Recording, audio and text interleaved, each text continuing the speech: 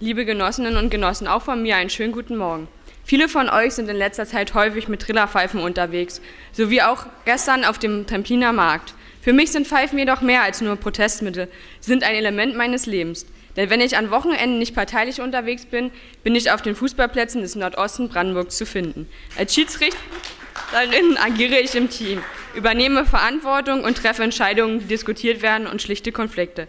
Dies bedarf Verlässlichkeit, gegenseitiges Vertrauen, Reflexion, Kritikfähigkeit sowie Leidenschaft. Konstruktive Kritik ist dabei immer gewünscht. Alles Dinge, die sich auch auf die Arbeit des Landesvorstands übertragen lassen. Vor zwei Jahren wählet ihr mich das erste Mal in den Landesvorstand. Zunächst war ich unsicher, ob es der richtige Schritt war, doch nun kandidiere ich erneut. In den kommenden zwei Jahren möchte ich weiterhin die linke Sommerakademie Berlin-Brandenburg, die, zuvor als linke die ich zuvor als linke Herbstakademie mit vorbereitet, konzipiert sowie durchgeführt habe und deren Projektleitung ich in diesem Jahr übernommen habe, in die politische Arbeit des Landesverbandes etablieren. Außerdem möchte ich an der Erstellung einer verständlichen und transparenten Übersicht unserer, unseres Aufbaus und unserer Aufgabenverteilung mitwirken. Ich komme aus der Uckermark, weshalb ich mich besonders freue, heute hier zu sein.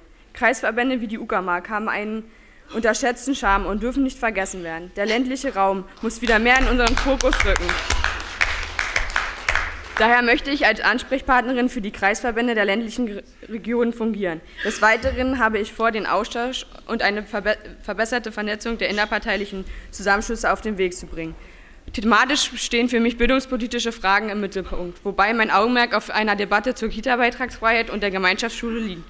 In diesen Fragen gilt es, eine rote Handschrift zu beweisen und unserem Koalitionspartner eine Partner eine klare Kante zu zeigen. Es liegen viele Baustellen vor uns. Jedoch ist, liegt es nicht in meiner Natur, den Kopf in den Sand zu stecken, sondern nach vorn zu schauen und anzupacken.